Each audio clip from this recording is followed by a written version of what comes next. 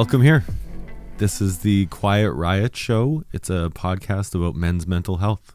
I'm Tim, I'm Tommy.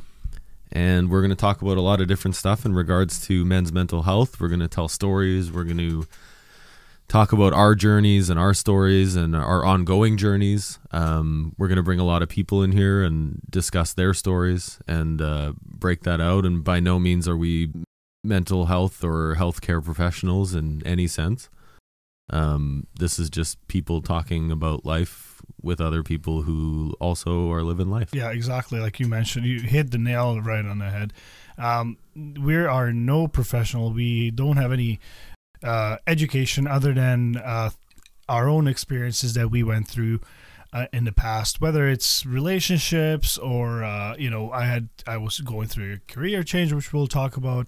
Um, we're going to have different guests that dealt with different uh, issues, Challenges, challenges, issues. yeah. Yeah. and they're just going to tell our their story and hopefully that story will influence somebody maybe will help somebody to kind of go through their tough times Yeah, it's one of those things that's it's like even just sitting here it feels uncomfortable to talk about. it does it does And yeah and, and like not we, just because this is the first time we've done a show the two of us together, but we've had lots of chats yeah, and it's one thing when there's no microphones in front of you. That's we've, right. we've talked about our own mental health. We've been friends for years and our journeys and our stories and um but in a different way. that's right and uh, I think the sharing portion and the, the, I mean, the title of the show is Quiet Riot, and it's that that inner struggle and that that battle that's going on inside you that you tend to keep to yourself. Or I, sorry, I shouldn't speak for anyone else, but like for me, you know, you want to be tough. You want to. I can't. I can't break down about this. I don't want to. yeah. I don't want to break down about this. And we all have our own reasons for putting up walls and doing that and and keeping it quiet. And I think for me, this is a great venue to not keep it quiet. yeah and i i think throughout the sh- the, the episodes we're gonna talk about like how we're men we're almost not supposed to be sharing our feelings we're just supposed to kind of you know deal with it and uh, don't worry about it Yeah, push it down, bury yeah, it down, exactly. Yeah, bury, bury, it, it, and don't worry about it. You're a man. Yeah. You should be able to deal with this. But we're gonna share some stats about like suicide rates and, and things like that. That it, it's it's actually um, pretty tough for some some men out there. And um, I personally talk about my issues, feelings very easily to really anybody.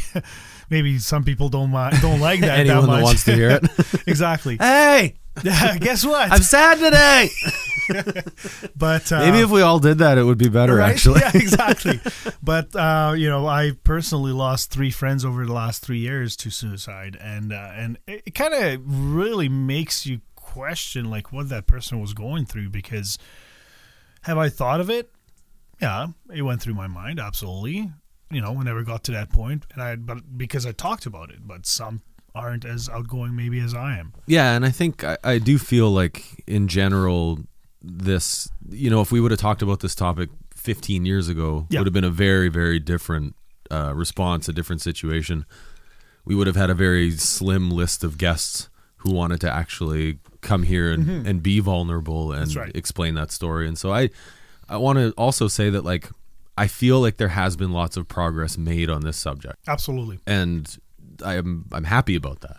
That Yeah, makes me feel that makes me feel good. It it feels more. it feels hopeful and when you don't feel hopeful, all you want to do is feel hopeful, and so it's one of those things that you can cling to, and you know that I clung to and said, "This is something I can at least talk about now, and like, Yeah. something that like people will listen and want to help and want to hear the story and want to be a part, want to be vulnerable with you." Absolutely. So yeah, that's what we're going to talk about. Yeah. So uh, this is just a little intro. Again, can't stress it enough. We're not professional.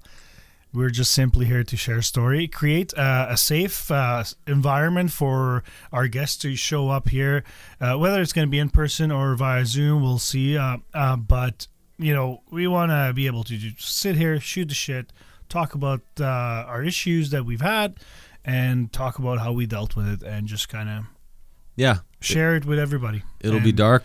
Listen to the show. We'll try and not make it too dark and too moody all the time. That's right. We I, I think we're pretty fun guys. we've done other shows that are focused around everything but serious, so Yeah. I, I think we we can find a balance. That's right. Be patient with us. All right. Cheers.